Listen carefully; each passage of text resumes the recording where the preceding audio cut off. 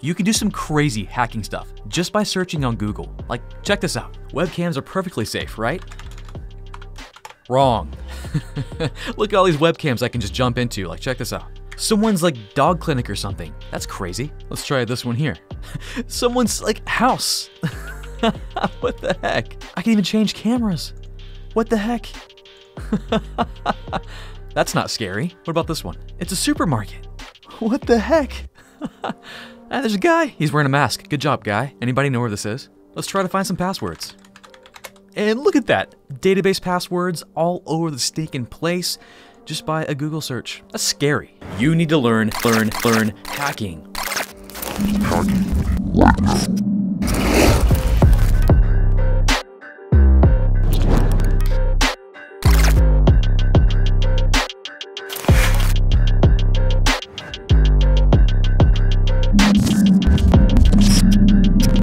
Hey, what's going on guys? Welcome back to Network Chuck. I hope you have your coffee ready, because in this video we're talking about Google hacking, or Google dorking, what some people call it. This is a legit thing that hackers actually use, and I'm going to show you how to do it. But why am I talking about hacking? Well, I'm becoming a hacker. This video is actually part of a series where I'm showing you how I'm going to become a hacker. And a huge, massive shout out to IT Pro TV who's sponsoring this part of my hacking journey. I'm actually using them as my primary learning source right now, so if you want to check them out, I've got a discount code, Network Chuck, and a link below. You get 30% off everything they have forever. And they have a lot of stuff. Not just hacking, but like CCNA, CCNP, A+, everything. Now again, Google hacking is a real thing that real hackers use. So first question, is this legal? Like will the FBI come bust down your door as soon as you try this? In most cases, no. What I'm about to show you is actually legal. Uh, well, up to a point. You can cross that line, and I can sh I'll show you the line, don't worry. But it is still legit hacking. It's one of the first steps that any hacker will take when they decide to hack a target. And of course, I'm talking in the context of being an ethical hacker a hacker who does things for good, not for bad. You see, the first step that any good hacker is going to take when they're about to hack somebody is they're going to try and learn as much information about their target as they can. This is often referred to as recon or reconnaissance, or you might see it as footprinting, or even fingerprinting. Again, just means gathering information, gathering intel, because the more you know about your target, the better you can hack them later on with other hacking techniques. Now, the big reason why what we're doing is not illegal is because we're doing passive recon, which in most cases means that we're just trying to get information that's been made public that's publicly available, which in most cases, it's going to be something we can just Google search. That just comes up. And what we're hoping as hackers is that this information was made public by accident. Someone may have accidentally exposed their passwords or maybe left their webcam open to the internet. That's what we're hoping for when we're doing these searches. And if we search in just the right way, using the right keywords and some Google search operators, which I'll talk about here in a moment, we can find some crazy, crazy stuff. Now again, you can take what we're doing here and make it illegal real fast. I'll show you where that line is here in a moment, and don't ever cross that line, so keep that in mind. Now some people might find this step in the hacking process kind of boring, because you're just gathering information, like Daniel over at IT Pro TV. And uh, I will be quite honest with you, this is probably, at least for myself, and I've, I've anecdotally found this to be true with others in my experience, they say, oh, footprinting, it's kind of boring, right? But you know what, Daniel? I think this part's actually pretty stinking fun. So ignore Daniel, let's go have fun. Oh hey, and I have a challenge for you. Two people will win a Network Chuck mug, US only, if you perform a task based on the contents in this video. So be looking for that challenge, it's coming up here in a moment. Now most of us already know how to use Google. When we want to find something, we type it in. Maybe I'm searching for my favorite coffee brewing method, French press, and I'll get a ton of results from the internet. Everyone. But as a hacker, we don't want to search like this. We want to narrow down our search and find just what we're looking for. We can do this with Google search operators. The first one we're going to use is called site, Just like that. Maybe I don't want to see French press results for the entire internet. Maybe I want to narrow it down to one particular website. So I'll use the search operator site colon and then specify the website I want to search in. Maybe Starbucks starbucks.com. Boom, what just happened? Well, if I scroll through here, you can see that when I searched French press, it only pulled up sites that were starbucks.com. That's it. So what's happening here? I've got my search operator, site, colon, notice no space, and then my domain right there. And then this is just my search term over here all by itself. Go ahead, try it. You can do that with any site. It's really cool. But this isn't hacking. You're right. Let's let's hack. Let's become a bit more nefarious but still legal. Let's try it out. Let's say that we still want to search the site Starbucks, but I don't care about French press anymore because now I'm hacking. I'm going to use another search operator to see if I can find something. This next one is called in URL. So if I go back here and I type in in URL colon, I'll search for a keyword like maybe admin, and let's see what happens.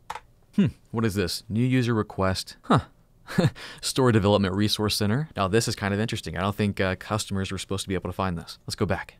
What did I do here? So same deal as before, site is starbucks.com, but then I use the in URL search operator and I put a keyword in admin. So let's say I jump into the next URL. I'll just copy this URL real quick so you can see it better. This matched my search because starbucks.com is the site, and inside this URL, I have the keyword admin. Now, why would I search for that? Well, hopefully I can find a site that they don't want me to see, that maybe I could find vulnerabilities. Let's try another one. This one is in text. So looking back at our Google search, instead of searching for in URL, I'll put in text and I'll search, let's just say also for admin. And this maybe reveals some fun stuff. Let's take a look. I don't know what this is. A prospectus in, I think that's German. that's interesting. Here's a lease from 2007, 2008. So what is this search doing? Well, the in-text search operator searches for anything on these pages that has the keyword admin inside of it on starbucks.com. More specifically, it's searching inside the body of the web page. Now I'm to go through a few more options, but then I'll show you some crazy stuff we can find with the Google hacking database. Yep, it's a thing. I'll show you. But first, let's try changing the in-text to in title. We can actually search by the website's title. This is helpful for maybe when you want to find all the login pages. So I don't know what Papercut login is. Let's go here. But where that searching is right here at the title, which might be kind of hard for you to see. But Papercut login, that's what it's looking for. Login in the web page title. And typically, most login pages will have that. And then one more fun one, which I think is probably one of the coolest, is you can search starbucks.com for types of files. So let's try file type. That's our search operator. And I'll specify, hmm, let's try PDFs.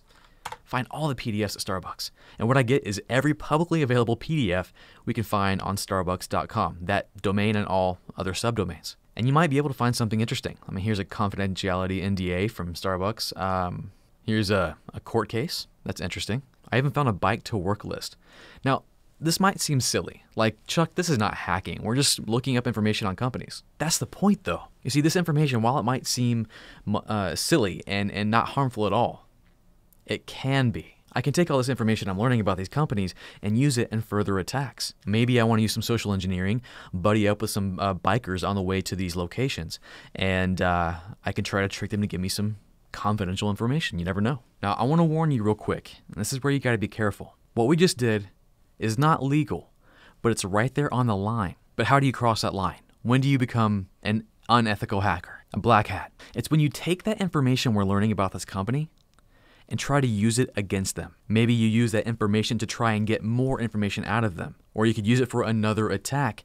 At that point, unless you have permission, that is illegal. But again, what we've been doing is just passive, passive footprinting or passive recon meaning we're just accessing stuff that's made publicly available. And where that becomes valuable for us as pen testers, ethical hackers, is that some information might be accidentally made available. Now, if we flip a switch and did active recon or active footprinting, which means we're actively trying to reach out to the company and learn information about them using a variety of techniques. Maybe we're going to use social engineering and try to go to a Starbucks store and try to talk to somebody or connect with someone on LinkedIn and try to, to get them to give us information. That would then be active recon, and that is illegal unless you have explicit permission from the company to do this. So keep it passive, people, unless you have permission. Now let's check out the Google hacking database. And we will Google the Google hacking database. Best way to find it, first thing that pops up. And this is incredibly cool because here, here's all it is. It's a database of potential Google search strings using those same Google search operators we talked about. And they could expose potential vulnerabilities, passwords, usernames, emails, anything you could possibly imagine. We can use these to discover information. It's using techniques like these, like we saw at the beginning of the video, that we can discover some pretty crazy stuff. Like if you search webcam, um, they give you a variety of searches you can use to find webcams that are just open and out there. If I search this, bam, we get some webcams. And it's it's kind of scary, kind of weird. And it's using what we just talked about. Here we have the in title search operator, and we're looking for anything that has webcam 7 in it. And then this is actually kind of new. We're using the in URL search operator, but then we have the dash sign in front of it or negative sign. And that basically means don't include anything that has the admin HTML in the URL. And the same thing goes for the password I uncovered. We're doing a search for file type, which is an ENV file. And if made publicly available, it can reveal database passwords and usernames, which is obviously a bad thing. Now again, Don't go take these and then try to use them. That's that's the line you don't want to cross. It's not illegal to find it, but it's illegal to use it. Here's another fun one. Let's use this. We're searching for this string right here, and the file type is going to be a log. So we're searching for log files that contain failed login attempts, which can give us some extremely valuable information as a hacker. So let's click on the first one here. It's from fsu.edu, which I think is Florida State and we get a bunch of information. And here's another one. And you know, again, this might not seem like valuable just at first glance. This can help you with your hacks down the road with other techniques. This one's pretty fun too. Um, this is searching for uh, registry files, file type, registry, and then here's the keyword search. And as you may know, the registry file is how your Windows system is configured, your Windows server is configured. And it might not be helpful to have that exposed to the internet. So like here's an example. Some fun stuff in here from MIT. Again, I don't know how dangerous it is for them to have this available, but any information can reveal things they may not have intended to reveal. And just a few more. These are just fun. Um, this one is cool because uh, it's very revealing. What is this? In title, we're including the Nessus Scan Report. Nessus is a vulnerability scanning tool. It'll scan your system and tell you how you're vulnerable. and um, we're searching for that in the title, and then the keyword, this file was generated by Nessus. So just scrolling through here, like uh, let's see, Park, parkland.edu. We've got their Nessus scan, and we can see, hey, maybe they have some vulnerabilities that we can possibly exploit. And it's just in a nice format for us. uh, maybe we look at it, let's see, Here's another one. Yeah, it just tells us maybe what they're vulnerable with, and we can exploit those. I mean, we shouldn't. You, you shouldn't. You're an ethical hacker. You might want to let them know, report this to them. But you can see how this is crazy bad for them, but very valuable for us. Now, there are a ton of Google dorks in here, or Google hacks. Um, notice they are called dorks here. You can filter these by category. You can go through here and say, I want to see if there's um, vulnerable servers or let's just look at files containing usernames. And you'll be amazed at what you can find with all these. Oh, let's do one more. Uh, maybe a couple more. this is fun. Uh, let's search for. Um, this one's actually really cool. what this is doing, it's using the search operator all in URL, which is the same as in URL, but it's just going to include everything you include after it. It's kind of like doing quotes on a search. So just know it's doing the same thing as in URL. But what this is coming up with is terminal services or remote desktop, as you can already see here. Web pages that are set up for you to log in to a organization's remote desktop terminal. Let's jump into one of these right now. Yep. we can try to remote into one of these machines. Now we may not have login information right now, but it's something we could try to brute force later. Yeah, check this out. It's just crazy. It's crazy what you can find. NewTestamentChurch.org. Windows 2000. Shame on you. okay, I'm going to stop. You can have hours of fun doing this, and you probably will. Let me know how it goes for you. Actually, I would love to see some uh, search strings below. Let me know what you try. Because if you're creative enough, you can find some pretty crazy things. But again, this is only one tool we can use to gather information about companies. So as you learn about footprinting and recon, learn about the other tools. One of the biggest tools at your disposal, and actually this is kind of a valuable tool for job searching as well, is just being able to uh, find these companies on LinkedIn or Dice or any of these job boards because you can find some pretty revealing stuff. For example, let's do site linkedin.com.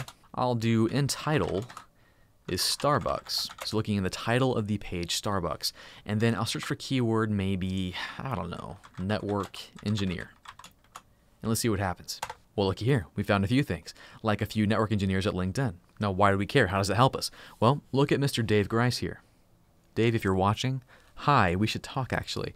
Uh, he's the senior network engineer, been there since 2014, and we can look at his skill set BGP, OSPF, Ansible, Azure, AWS, Cisco, Arista. Why do we care about all that? Well, he's been there for five years and nine months. We can assume that he uses all those skills at Starbucks.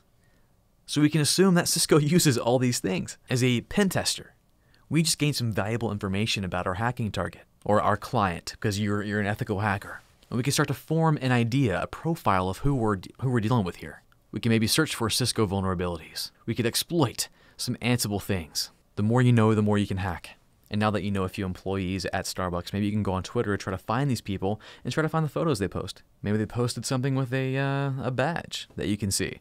Or maybe they have their monitor in the background. You can see some information on the monitor. You see, the majority of these hacks can happen because of the mistakes of just people. People doing people things. No one's perfect, and you can expose that.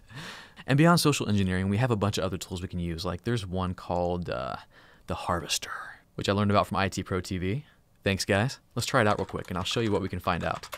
Uh, we'll specify starbucks.com as our domain. Our source, let's just say Google for now. And let's take a look.